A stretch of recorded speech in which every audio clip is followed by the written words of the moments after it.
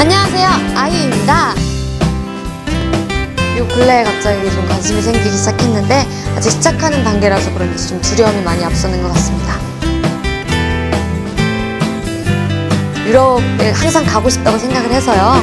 어, 가장 가고 싶은 곳은 영국이고요. 코린 벨리레가 영국 사람이라서요. 네, 그래서 한번 꼭 가보고 싶습니다.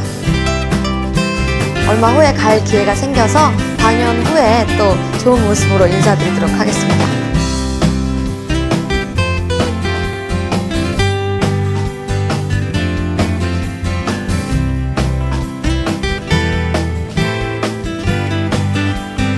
네, 안녕하세요. 유니온 베이 모델 서현님입니다.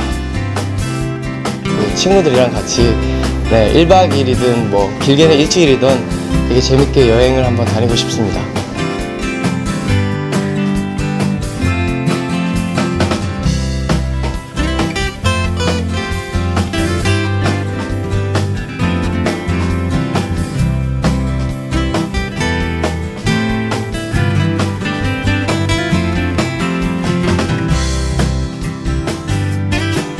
굉장히 재밌고 그리고 즐겁게 촬영을 했으니까 여러분들도 많이 기대해 주시고요. 앞으로도 유니온베이 많이 사랑해 주세요.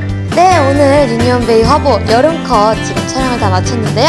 아주 즐겁게 촬영했고요. 시원하고 발랄하니까요. 많이들 사랑해 주시고요. 유니온베이 아이유, 아, 잘 부탁드립니다.